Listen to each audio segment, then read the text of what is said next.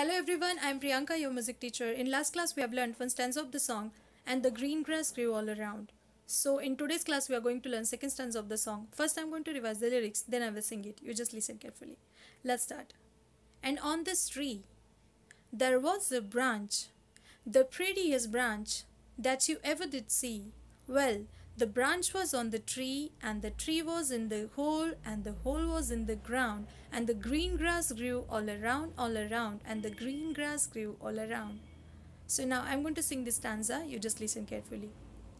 And on this tree there was a branch, the prettiest branch that ever branch was on the tree, and the tree was in the hole, and the hole was in the ground, and the green grass grew all around, all around, and the green grass grew all around. So now I'm going to sing this stanza with the music. You just listen carefully. Let's start.